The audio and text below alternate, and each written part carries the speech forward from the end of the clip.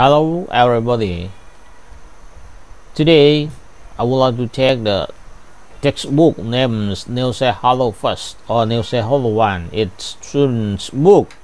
for all of students who use this book in Thailand for Prathom 1. Today we'll, we'll learn the page number 50. Now let's go นะครับคุณครูพยายามพูดภาษาอังกฤษนะครับนะให้นักเรียนได้คุ้นชิน นะครับความจริงแล้วคุณครูก็ไม่ได้พูดเก่งอะไรนะครับ แค่พอไปวัดไปวาได้เท่านั้นเอง โอเคครับหน้าที่ 50 แล้วนะครับสำหรับหนังสือ n e w s e h a l l o One หรือ n e w s e h a l l o First เล่มที่ 1 นะครับนะนี่คือหน้าตาของหนังสือนะครับ ที่จะเรียนหน้าที่ 50 นี้ไปดูในรายละเอียดกันเลยนะครับเดี๋ยวคุณครูถ่ายมาจากหนังสือนะครับก๊อปปี้มานั่นก็คือคำอ่านก่อนนะคำสั่ง look listen and repeat นี่นะครับคำอ่านมาแล้วนะครับ look listen and repeat look แปลอะไรครับ แปลว่าดู listen แปลว่าฟัง and แปลว่าและ repeat แปลว่า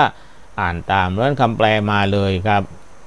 นี่เลยครับคำแปลดูฟังและอ่านตาม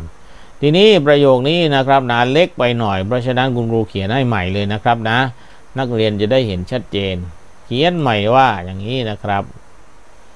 My cat is small นี่คือคำอ่านนะ My cat is small นะเขียนภาษาไทยเขียนคำอ่านนี่เขียนยากนะครับนะคุณครูไม่ค่อยคุ้นชินนะครับนะ My แปลว่าของฉัน cat แปลว่าแมว is เป็น verb to be นะครับปกติแปลว่าเป็นอยู่คือ แต่เมื่อมาใช้คู่กับคำว่า small small เป็นคำ adjective คำ adjective ภาษาอังกฤษภาษาไทยคือคำคุณศัพท์นะครับนะ หรือคำวิเศษ ไม่ต้องแปลนะครับคำหมายถึงว่า verb to be ไม่ต้องแปลนะครับคำว่า small นี่แปลแน่นอน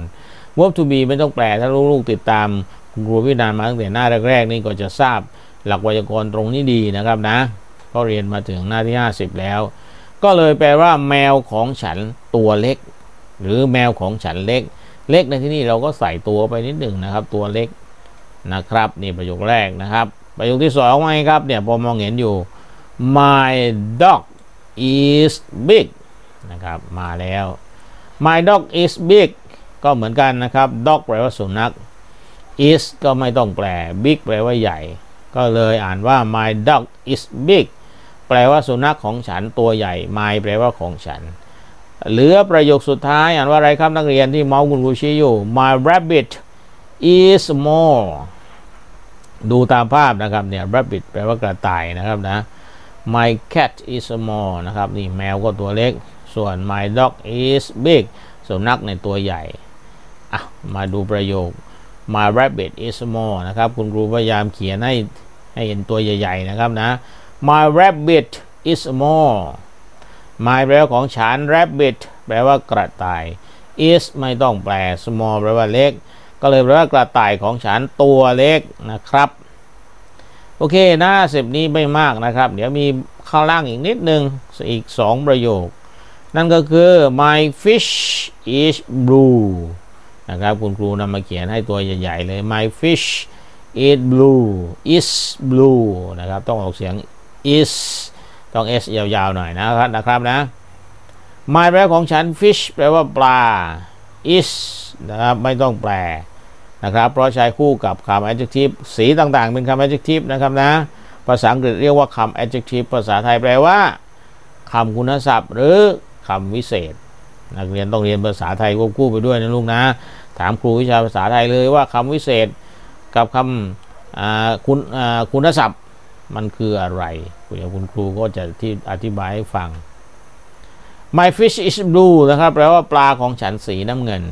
อ่าประโยคสุดท้ายครับ My bird eat green นะครับ My bird eat green นะครับทั้งภาษาอังกฤษและคำอ่านภาษาไทยนะครับนะแอปพลิเคชันนี้นะครับสามารถเขียนในตัวใหญ่ ๆ ได้ แล้วก็คลิกคำอ่านมาทีละประโยคเลยนะครับแปลว่าอะไรครับ นกของฉันสีเขียวนี่นะครับ นกสีเขียวนะส่วนปลานี่นะครับ สีน้ำเงิน คุณครูขอเน้นอีกทีนะครับ ก่อนที่จะจบนั่นก็คือคำว่า fish นะลูกนะ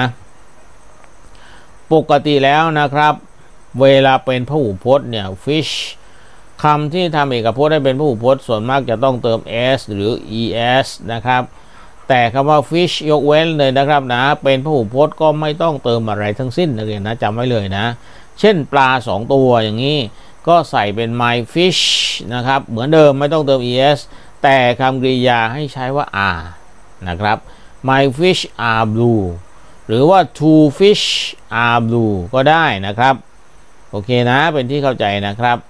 fish เนี่ยพิเศษหน่อยนะครับนะ ไม่ต้องเติม s เมื่อเป็นผู้พจน์ โอเคนะ นี่คือหลักไวยากรณ์เพิ่มเติมที่คุณครูแนะนำให้ เป็นนั้นว่าหน้า 50 ก็วิ่งมาแล้วนะครับ จบหน้า 50 เพราะฉะนั้นเป็นยังไงบ้างครับลูกๆนะ สนุกไหมเรียนกับครูพี่นันถ้าสนุกก็ฝากบอกต่อเพื่อนๆในห้องนะครับนะ ว่ามากดใน YouTube ดูพิมพ์ว่าครูนันชแนลนะครับนะ K R U ครู N A N นัน C H A N เชน N E L now channel แปลว่าช่องนะครับ ช่องครูนัน ซึ่งเป็นช่องที่สอนวิชาภาษาอังกฤษนะครับ ก็ขอขอบใจลูกๆทุกคนนะครับที่กดติดตามนะ วันนี้ก็มีผู้ ติดตามช่องคุณครูถึง 5,000 คนแล้วนะครับ ขอขอบคุณมาก ๆ เลยนะครับ โอเคครับ จบหน้าที่ 50 ไว้แต่เพียงเท่านี้ค่อยเจอกันใหม่ในหน้าที่ 51 นะลูกนะ ขอบคุณครับสวัสดีครับ okay.